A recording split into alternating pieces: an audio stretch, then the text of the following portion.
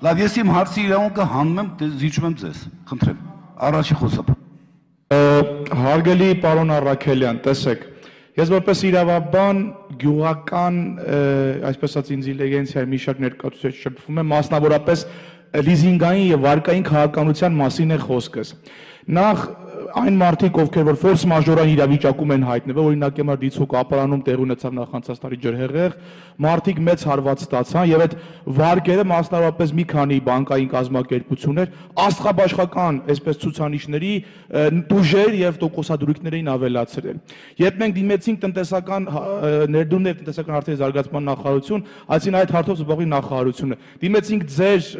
ներկայացուցիչներին պատասխան սպառիչ չեղավ։ Հիմա հարցս հետեւյալն է.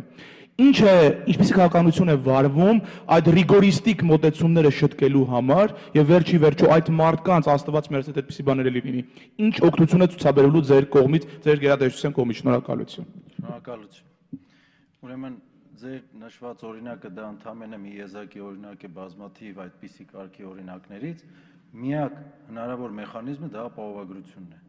Դա եղել է նախկինում այդպիսի խնդիրներ, որ վարկը չի կարողանում մարվել տոկոսը։ Եթե մենք ունենանք ապահովագրություն, հետեւաբար տնտեսությունը իր տուժած վնասները կփոխանցվի ապահովագրական ընկերության կողմից եւ բանկերի հետ խնդիր չի ունենալու այլևս վարկերի կամ տոկոսի կամ տուժի վճարման։ Այլ գործիք այսօր, եթե դուք ունեք այլ գործիք մեխանիզմ, որը կարող եք ներկայացնել, մենք պատրաստ ենք դա քննարկել եւ մտածել, թե ինչքանով դա կարող է կիրառվել։